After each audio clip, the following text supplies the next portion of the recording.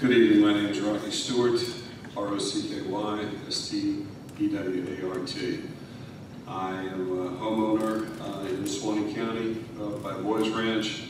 I currently do not live there, I live in Corpus Christi. Uh, I'm sure some people here may regard me as the enemy, but I am in total opposition to what you all have planned. By profession, I'm what's known as a mud or drilling fluids engineer. I've been drilling wells since 1981.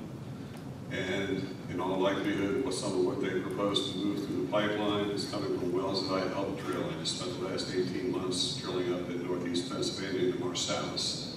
Also drilled down in uh, Eagle Ford, uh, down around Cuero, Texas. What you all have proposed is total insanity. Areas where we were drilling, minimal impact on the environment, and could easily be mitigated. When we do horizontal drilling, we're drilling with an eight and a half inch bit.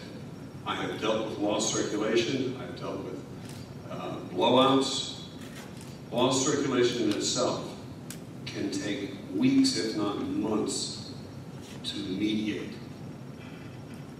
Experts, I have no faith in experts because experts lie. I have lied in my job because that's just the name of the game.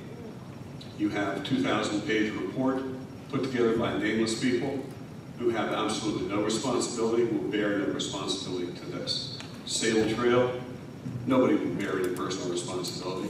FERC, same thing. Something goes wrong, not our problem.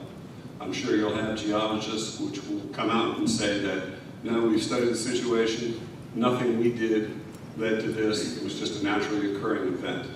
If you lose your home or use of your property, well, if you're old, you'll be dead before it's settled. If you're young, you'll be old before it's settled.